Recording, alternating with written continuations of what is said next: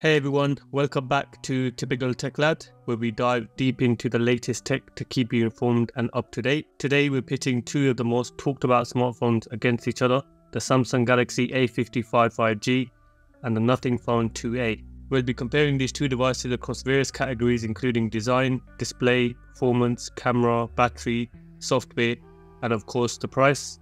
By the end of this video, you'll have a clearer picture of which phone might be the right choice for you. So when it comes to the design and build of the phones, the Galaxy A55 is using the more premium materials from the two phones. It's got an aluminium frame along with a glass back and then weighs in at 213 grams, whereas the Phone 2A features a plastic back, aluminium buttons and nothing have prioritized sustainable materials. The Phone 2A weighs 190 grams, so so weighs 23 grams less than the Galaxy A55. But regardless of using plastic material and frame, in no way feels cheap. It's got a nice weight to it, I think. And then we'll just check out rockage, where Phone 2A is considerably less than the Galaxy A55. We'll check out what the haptics are like on both of these phones. Well, I'll try to show you as best as I can anyway.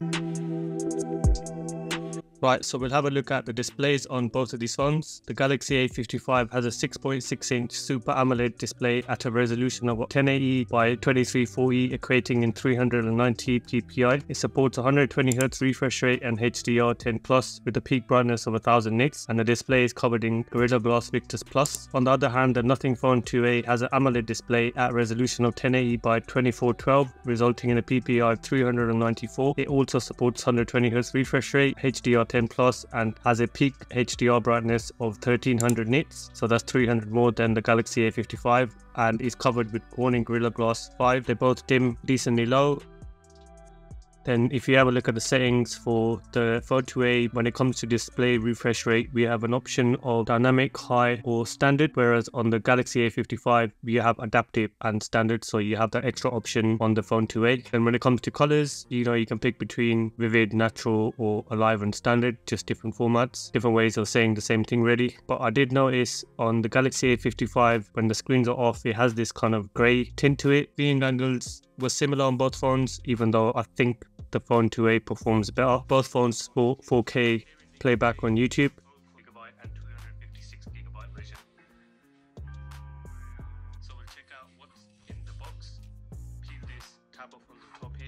And then we'll check out what the displays are like side by side.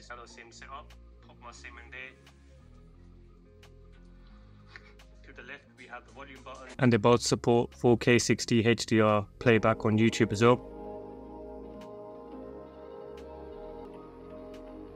So because they're using AMOLED displays, colors are vibrant, sharp, and I personally preferred the screen of the Nothing Phone 2A. I feel like the colors are a bit better on there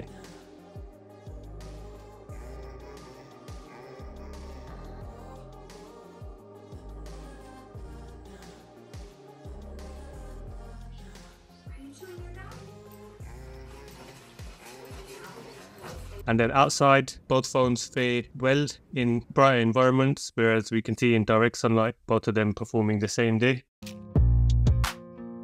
So when it comes to speakers, both of the phones have stereo speakers set up with a bottom firing speaker and the earpiece acting as a second speaker. The Galaxy A55 has Dolby Atmos support, whereas the Phone 2A doesn't, but we'll check out how they both sound.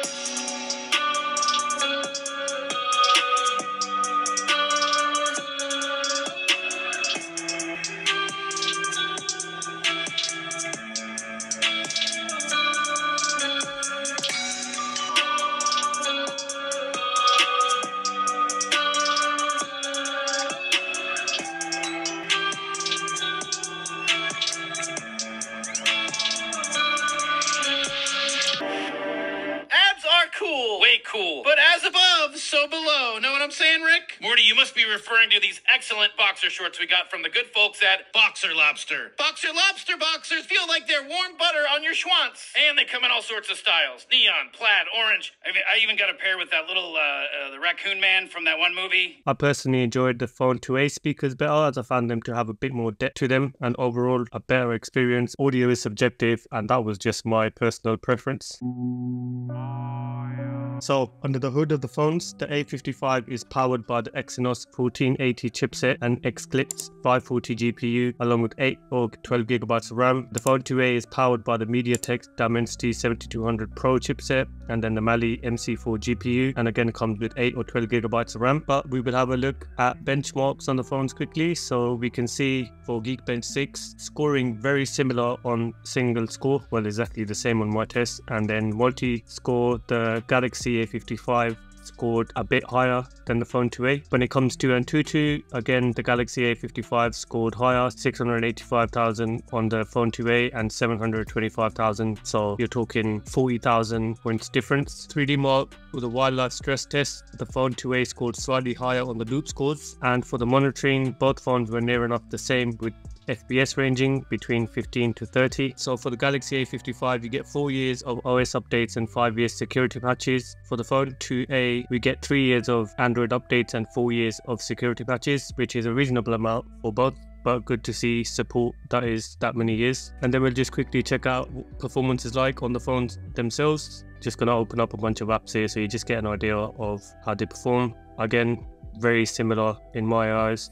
Basically, quick and snappy, hardly any wait times. There might have been times when one phone performs a bit better than the other.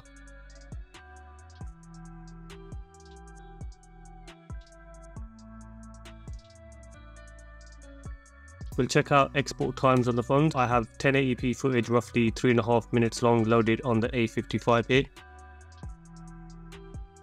And we'll see how long that takes to export. So we can see that basically here a minute and 5 seconds to export that and then the same clip loaded on the phone 2A and I'm gonna export that again.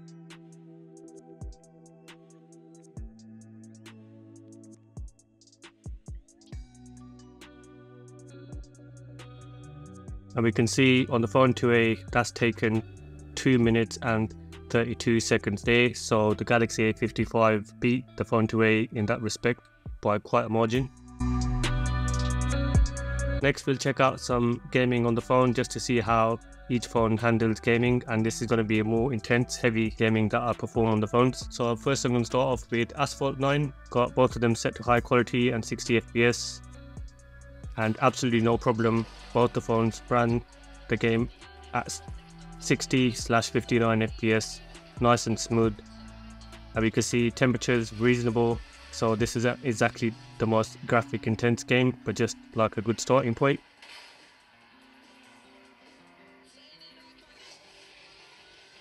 and then we'll jump into Call of Duty Mobile Warzone. So the Galaxy A55 has high for the graphics settings as the top end and the Phone 2A topped out at mid. The 2A was running at around 52 frames per second and the A55 is running at around 56 FPS and we have to keep in mind that's on the high graphics settings so that's not bad. The phone 2A's temperature is at around 35 degrees. For the A55, the temperature was around 39 degrees. And this is probably around 20 minutes into playing the game. I'm going to drop the quality on the Galaxy A55 to mid. Play that for a little while longer, but the temperature was still high, but that obviously could do with the phone had kind of heated up. But I definitely feel like the phone 2A handled heat dissipation a lot better than the Galaxy A55. You know, I could really feel the Galaxy A55 warming up in my hands. So both phones have a 5000 milliamp hour battery with a with the A55 supporting up to 25 watt charging, whereas the Nothing Phone 2A supports up to 45 watt. That's good to see.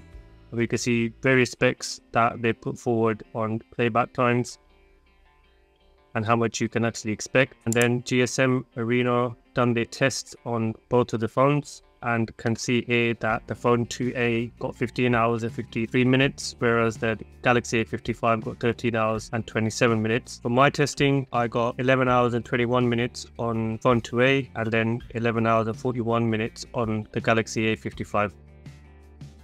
But if you have a look in the settings, we've just got your kind of, you know, normal battery settings here. On the A55, you have some battery protection options, which is good to see. So you can have like the battery stop charging when it reaches 80%, for example, extending the battery health and life whereas the Phone 2a had a bit more limited options but again you know you can see battery percentage battery health galaxy a55 definitely has more options when it comes on battery side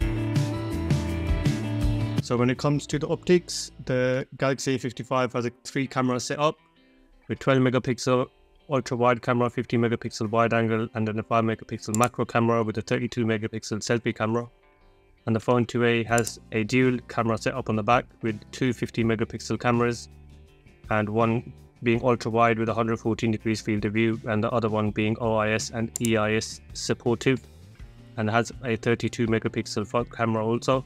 So we'll check out some video footage and pictures that I took with the phone.